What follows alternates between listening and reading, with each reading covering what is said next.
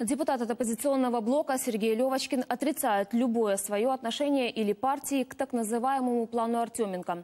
Об этом политик заявил, комментируя заявление нардепов Сергея Лещенко и Олега Лешко о его якобы причастности.